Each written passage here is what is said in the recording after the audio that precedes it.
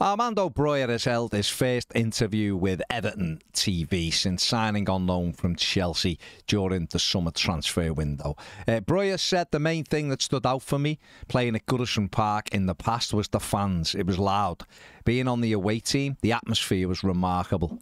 It's special, and I can't wait to be on the right side of the fans this time. They're an amazing fan base, and they really love their football. Hopefully, I can make a positive impact on them.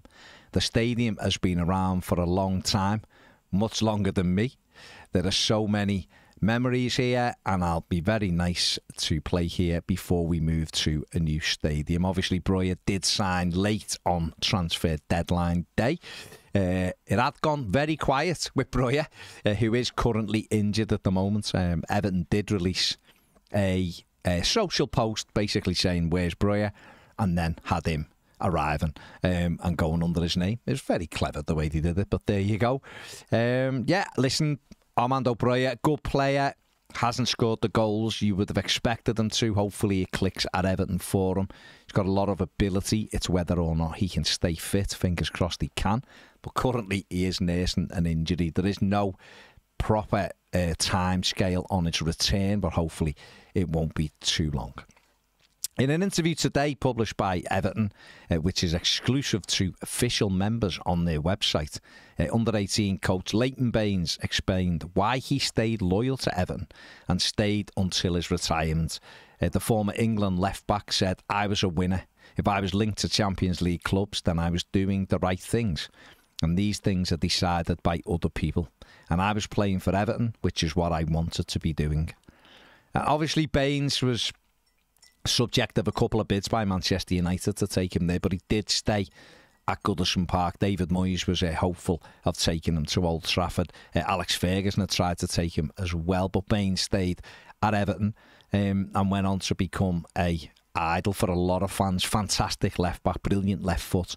And it's great to see him now coming through the coaching side of the game as well as Everton's under 18 coach. Whether he's got any long term designs on being first team manager We'll have to wait and see, but what a fantastic footballer he was. Al Shabab manager Vitor Pereira has spoken out on how close he was to joining Everton uh, when Frank Lampard became Everton manager. Pereira said, I was very, very close to signing for Everton. I was ready to start working there.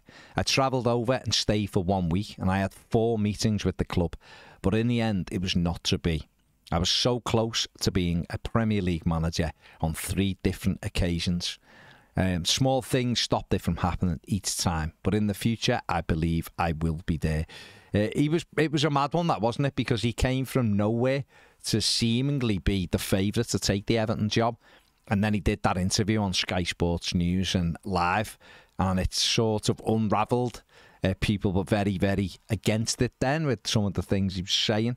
He seemed very, very disappointed um, live on air. And I guess, listen, who knows what would have happened? Uh, but he has, you know, gone on to coach in other countries and he has set his heart on managing in the Premier League. Let's see where he ends up if he does get there. And finally, Everton defender Reece Welch is uh, set to join Belgium side KMSK Deinze on loan and is undergoing a medical. That's what uh, the story is today. The young defender has featured for Everton in pre season, does need a loan spent some time on loan uh, in lower leagues and obviously moving off to Belgium.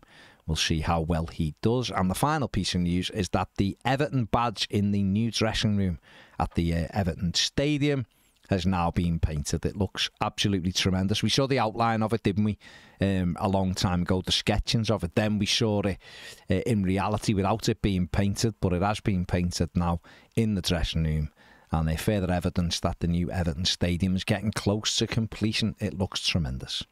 That is it for the news daily. Give the video a thumbs up, subscribe to the channel if you haven't. See you later.